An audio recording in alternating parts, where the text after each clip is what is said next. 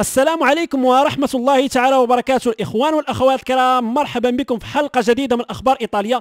الحلقة ديال تسعود في شهر تسعود يا إخوان. اليوم عندنا القانون الرسمي لأنه مجلس الوزراء الإيطالي كيصادق على القانون ديال تمديد ال green pass إلى قطاعات أخرى. كنا كنتكلموا على عدة قطاعات ولكن حاليا عندنا الرسمي يا إخوان. غيتم الإلزامية ديال ال green pass في المدارس وديور العجزة وغنشرح لكم كل شيء بال détail. وكذلك يا إخوان حتى الأولياء الأمور الأب ولا الأم إلا بغا يمشي يجيب ولده من المدرسة خاصو ال green pass وهذا الشيء غنقول لكم ابتداء من أي تاريخ. والشرح يا إخوان المدقق. وهذا الشيء غتلقاوه في الفقرة الثانية. الفقرة الأولى يا إخوان غنمشيو نشوفوا داك الشيء اللي دار واحد الشاب مغربي.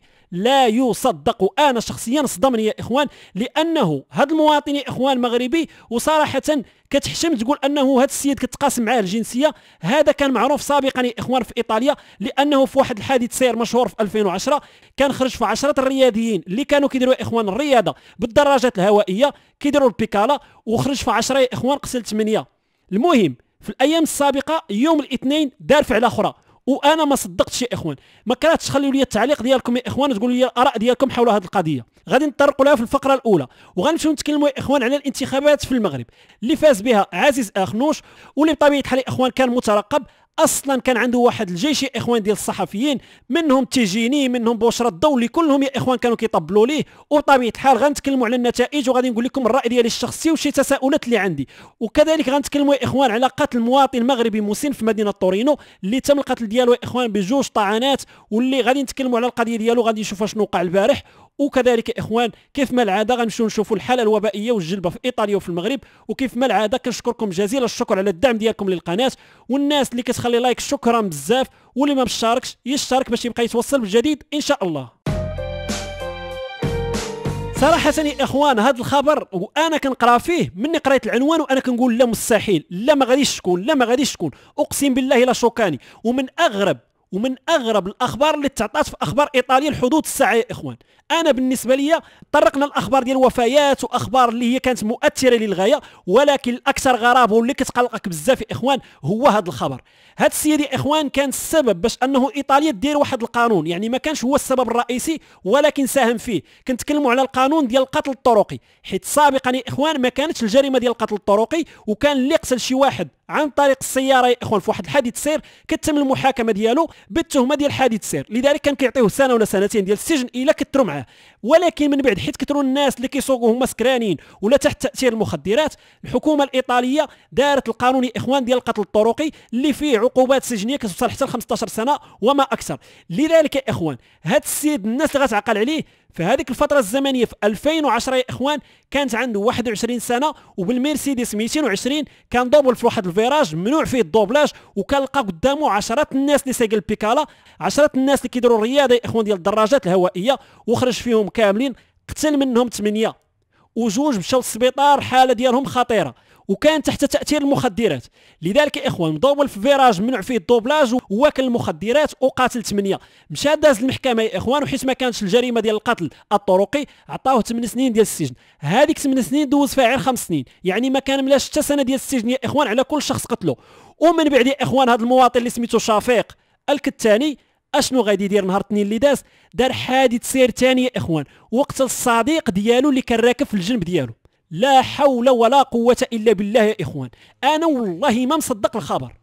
ولكن يا إخوان مقلق مقلق مقلق بزاف وكنتمنى أنه ينال العقوبة ديالو المرة الجاية. بطبيعة الحال يا إخوان ما نساوش واخا مقلقين وكل شيء نترحموا على هذا السيد المغربي إخوان اللي توفى اللي كان الصديق ديالو اللي كان راكب في الجنب ديالو يا إخوان عنده 31 سنة ما ذكروش الاسم ديالو ولكن الله يرحمه الله يرحمه الله يصبر العائلة ديالو. بطبيعة الحال هاد السيارة هي اللي كان سايق نهار اثنين اللي داز إخوان. طويوطا باقا جديدة وعير مكرية ما ديالوش كارهة وغادي بسرعة جنونية. خرج يا إخوان في الحديد وكيف ما كتشوفوا معايا الحديد كيفاش عواج والسيارة دازت للجهة الأخرى يا إخوان. هذا دليل على أنه كان غادي بسرعة جنونية. حاليا البوليس كيحقق واش كان واخد دروغا يا إخوان واخد المخدرات ولا لا ولكن راه التهمة اللي موجه ليه حاليا راه هي التهمة ديال القتل الطرقي. هذه التهمة اللي سابقا ما كانتش. المهم يا إخوان هذا السيد في 2010 نعاود لكم الحادثة الناس اللي ما عاقلينش عليها. حيدوا ليه ال permis سبع شهور قبل ما يدير الحادثة. لذلك هو الوقيته اللي دار الحادثة ما عندوش ال permis. البوليس حيدوه ليه. حيدوه ليه حيت دوبل في واحد الطريق اللي فيها خط متصل.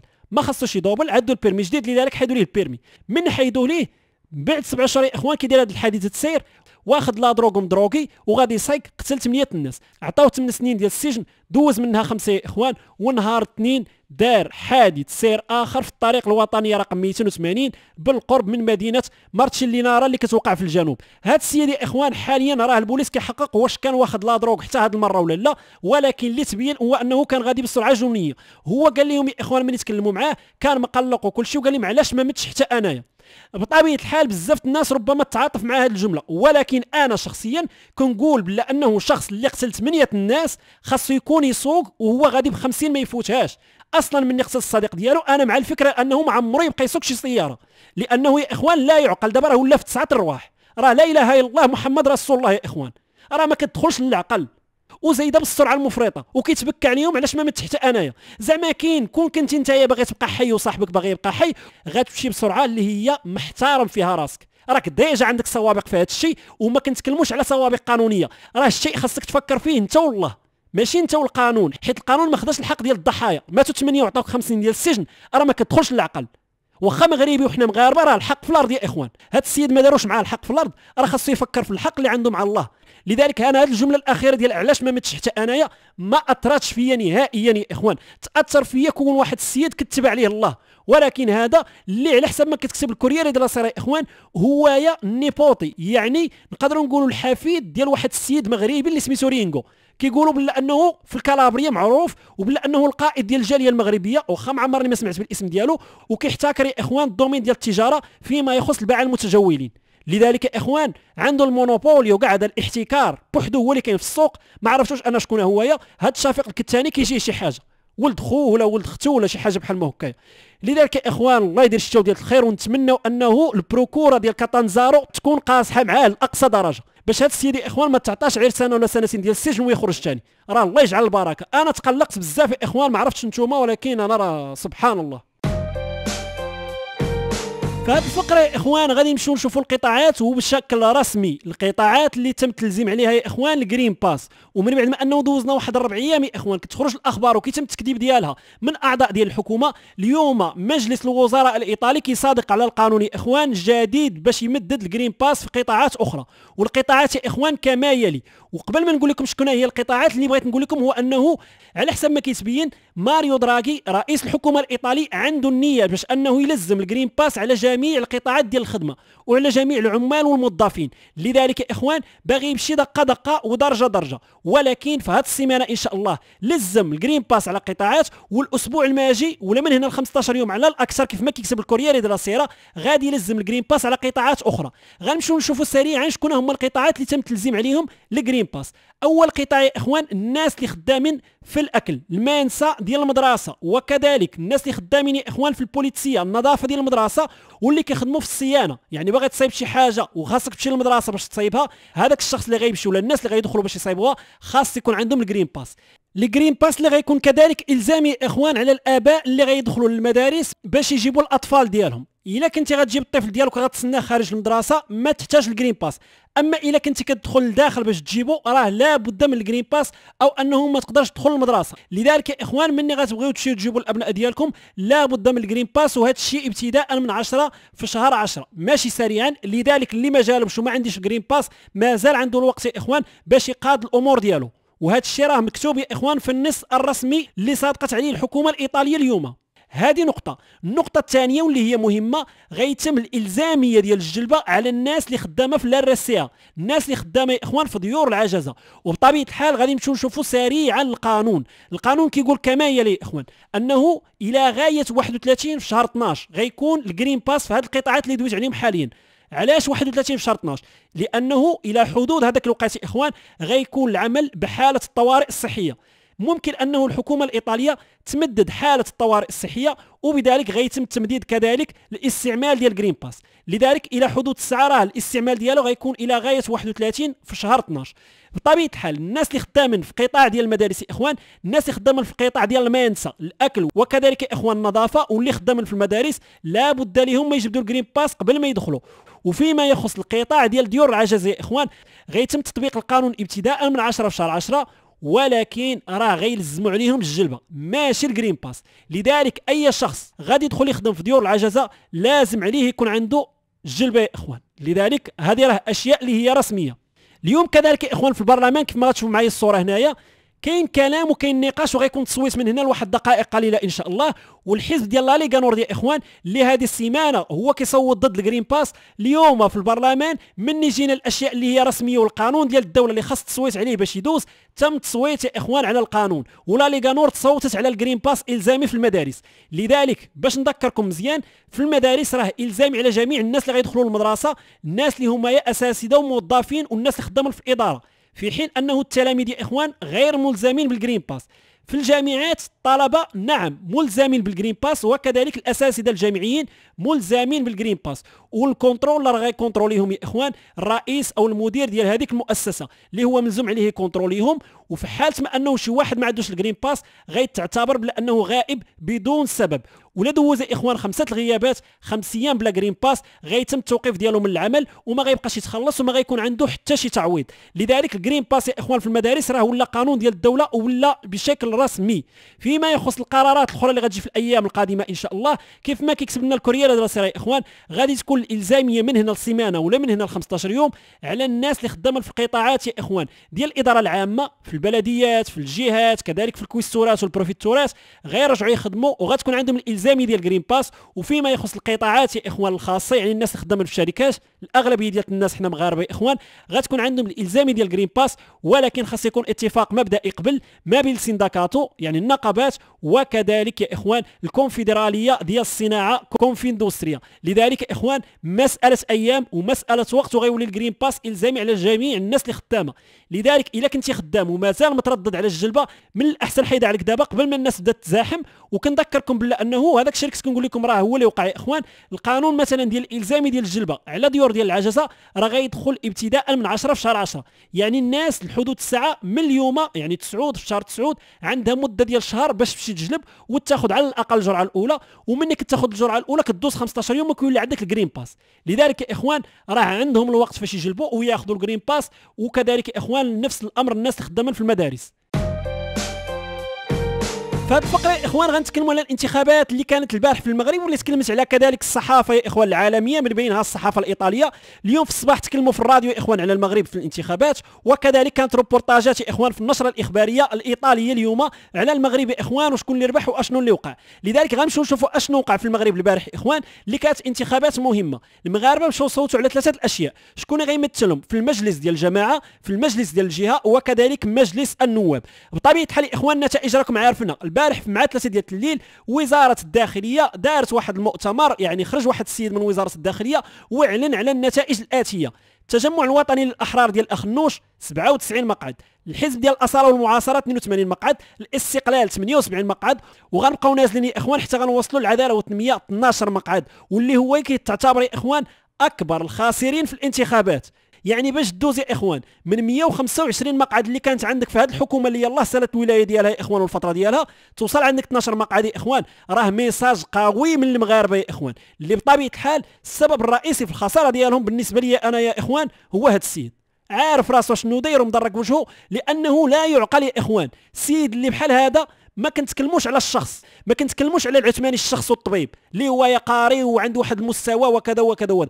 كنتكلموا على العثماني رئيس الحكومة اللي هو يا ربما أسوأ رئيس حكومة داز في التاريخ ديال المغرب. السيد اللي ما كيتكلمش ما كيعبرش كيفقسك لذلك يا إخوان كان من المنتظر أنه هذه النتيجة هي اللي غتوصل لها العداله والتنميه بسبب هذا السيد. وربما كون كان شي واحد اخر اللي هو يمترأس العدالة والتنمية وربما يا إخوان كانت النتائج غتكون مختلفة ولكن هذا الشيء اللي وقع. وآخر الأخبار يا إخوان واللي هي ديال دقائق معدودة هذه راه كتقول بانه العثماني عطى الاستقالة ديالو من الحزب ديال العدالة والتنمية وهذا الشيء إخوان جاء من بعد ما أنه في الصباح بن كيران كتب واحد الرسالة وطالبوا باش أنه يستقل من الرئاسة والقيادة ديال الحزب ديال العدالة والتنمية. بطبيعة الحال حاليا اللي فاس كيف ما قلنا يا إخوان هو يا اخنوش اللي المقاعد اللي عنده في البرلمان لا تكفي هو يا إخوان عنده 97 مقعد واللي باش تكون عنده الأغلبية في البرلمان يا إخوان خاصو على الأقل 200 صوت. لذلك راه ملزوم عليه أنه يدير تحالفات إخوان مع أحزاب أخرين وهذا الشيء اللي غيكون إن شاء الله. غيكون اولا الاصاله والمعاصرة اللي هو حزب قريب من القصر الملكي. كانت اليوم واحد الاتصال هاتفي يا إخوان من الرئيس ديال الاصاله والمعاصرة اتصل بأخنوش وهنئوا على الفوز ديالو. وبطبيعة الحال يا إخوان هذه راه تعتبر خطوة باش يكون واحد التحالف من القدام وربما غيتحالفوا مع أحزاب أخرى. بطبيعة الحال كيف ما كانت الحكومة يا إخوان حنا كنتمناو أنه المغرب يزدهر في الفترة القادمة. كيف كانت التجمع الوطني للأحرار كيف كان الاستقلال كيف كانت العدالة والتنميه وكيف ما كنقول دائما الحمد لله أنه البلاد ما كيدبروهاش الأحزاب السياسية. الحمد لله كاين الملك كاين المستشارين ديالو الناس اللي عندهم كفاءة كبيرة واللي هما يا إخوان مسيرين البلاد أحسن تسيير لحدود الساعة. واش كتظنوا أنه الحكومة السابقة اللي كان على الرأس ديالها العثماني إخوان هي اللي كانت مدبرة الأزمة الصحية في المغرب هي اللي شرات الجلبة ديال استرازينيكا وهي اللي شرات الجلبة ديال سينوفارم راه يا إخوان كاينين الناس أخرى اللي كتدبر البلاد ونحمدوا الله على هذا الشيء. لذلك يا إخوان المغرب الله يخلي لي الملك ديالو حيت أصلا إلا جينا نشوفوا الوجوه اللي طلعت يا إخوان راه طلعوا 10 يا إخوان ما بين الرؤساء ديال فروق القدم ورؤساء ديال العصبة ديال كرة القدم. لذلك ناس اللي كدير الكره ترشحات وطلعات طلعت كذلك يا إخوان آه، السيدة فاطمة خير اللي هي ممثلة ومن أحسن الممثلات يا إخوان في المغرب ومقدمة برامج. من لالا العروسة غنلقاو في البرلمان. وزيادة يا إخوان واحد الرأي الشخصي ديالي ربما شي واحد يكون متفق معايا ربما لا. هو أنه وأنا ما غنعممش هنايا. غادي نقول لكم بلا أنه الأغلبية ديال المغاربة ولكن ماشي كلهم الأغلبية فيهم ما عارفش الفرق اللي كاين مثلا ما بين التجمع الوطني للأحرار الأصالة والمعاصرة الاستقلال الاتحاد الاشتراكي. من غتسولوا واش التجمع الوطني للأحرار يعني الحمامة؟ واش هي يمينية ولا يسارية؟ تراكتور واش يميني ولا يساري؟ يعني الأغلبية أنا ما كنقولش كل شيء ولكن الأغلبية ما غيعرفش. لأنه حنا ما عارفينش الأحزاب السياسية التفكير ديالها شنو هو هي التيار ديالها شنو هو هي فاش كتفكر وشنو باغي دير. ولكن يا إخوان الحدود الساعة مثلا هذا الحزب اللي هو الأصالة والمعاصرة يعتبر حزب ديال الوسط اليساري باغي يتحالف مع التجمع الوطني للأحرار اللي هو من الوسط اليميني. يعني اليمين واليسار غيتحالفوا عادي جدا بحال ما وقع والو. في حين أنه في دول بحال مثلا هنا أوروبا شي حاجة اللي تقريبا شبه مستحيلة. مثلا في إيطاليا وقعات ولكن وقعات في حالة استثنائية. يعني جا دراغي اللي هو ما كينتمي حتى شي حزب واللي بطبيعة الحال إخوان أحزاب أخرى دعماته باش ما نمشيوش نصوتوا في الوباء واللي كانت واحد الموجة الثانية ديال الفيروس إخوان. لذلك إخوان راه حنا في المغرب السياسة باقا نبعد عليها بزاف بعيدا كل البعد على السياسة ديال بصح. غير كنسمعوا بها. وكيف ما قلت لكم يا إخوان الحمد لله أنه عندنا الملك في البلاد اللي هو يمدبر الأمور أحسن تدبير. هاد الصور يا إخوان اللي كتلاحظوا معايا حاليا كتجينا من مدينة طورينو. وهنايا يا إخوان هاد القلعة الأصفر اللي كتشوفوا هنايا راه تحته الجثة ديال مواطن مغربي عنده 65 سنة واللي تم القتل ديالو على يد مواطن يا إخوان أجنبي على حسب ما كتقول الصحافة الإيطالية اللي ربما من شمال إفريقيا. يقدر يكون مغربي يقدر يكون عنده جنسية أخرى. لذلك يا إخوان اللي وقع هو أنه هذا الشخص عنده 65 سنة الله يرحمه يا إخوان كان متشرد وتعرف على الجاني اللي قتلوه يا إخوان في الدورميتوريو ديال مدينة طورينو. لذلك الشيء كامل إخوان وقع في ال piazza ديال la Repubblica اللي كاينة في طورينو في l'area mercatale يعني في القرب من البلاصة اللي كيدار فيها السوق يا إخوان. وقع في العشية ديال البارح. ما كانش السوق ديك الساعة يا إخوان وما كانوش الناس مفرشين. ولذلك كان بيناتهم واحد العراك. تعاركوا يا إخوان ضربوا بجوج طعنات فوق هذه ال banchina وقتلوا. دخلوا الاسعاف ولكن ما قدروا يديروا والو يا إخوان في حين أنه السيد اللي قتلوا ضرب via Milano كاملة يا إخوان هربان وصل piazza Statuto يا إخوان وتم حاول أنه ينتحر ويضرب راسه بالموس ولكن يا إخوان البوليس وصلوا عليه ودوه للسبيطار وحاليا راه كياخذ العلاجات ديالو في المستشفى تحت حراسة أمنية. آه على حسب ما قالت الصحافة يا إخوان هو أنه رجال الأمن عندهم الفيديو ديال كيفاش تم قتل هذا المواطن المغربي يا إخوان حيت الكاميرات اللي كاينين في هذه الساحة تمكنات انها تشد كل شيء يا إخوان بوضوح. لذلك يا إخوان الله يرحم هذا المواطن المغربي اللي الحدود الساعة ما كاينش الاسم ديالو ولا شي حاجة باش يعني واحد يقدر يعرف العائلة ديالو ولا يعني يبلغ عليه الناس اللي كتعرفوا ولكن يا إخوان هذا الشيء راه وقع في مدينة طورينو البارح 8 في شهر 9